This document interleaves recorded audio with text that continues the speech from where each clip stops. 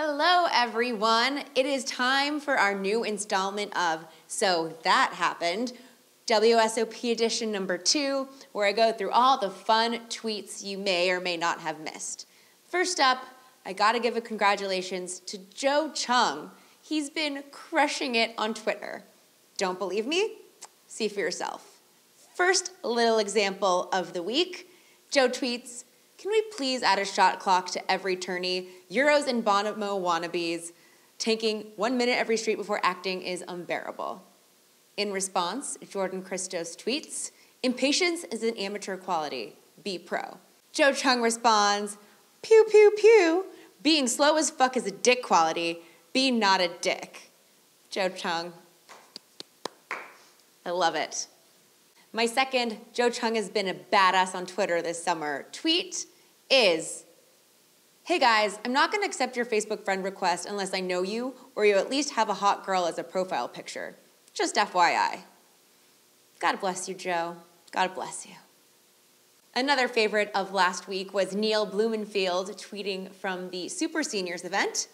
Neil tweeted, Best exchange of the day at the Super Seniors. TJ Cloutier talking about Paul Magriel's coke habit. Woman in seat seven. I was married to him. So good.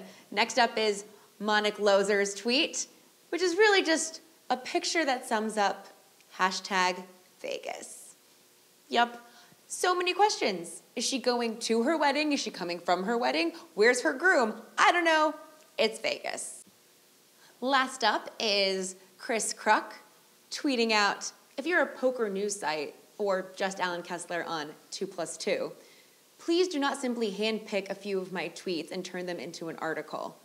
Individual tweets do not accurately reflect my complete point of view because the characters are limited.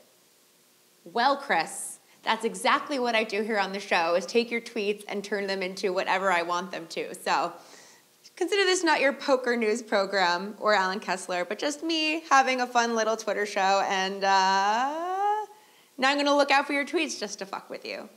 Sorry, apotheosis. Thanks for watching. And of course, if you see any juicy, funny things on Twitter, please at me at Sasha Salinger right there. And if you're ready for some laps, I have no affiliation with his Twitter account, but I think he's great. Follow Joey the Baby, Joe Cheong, on Twitter at S U B I I M E at Sublime on Twitter. Until next week.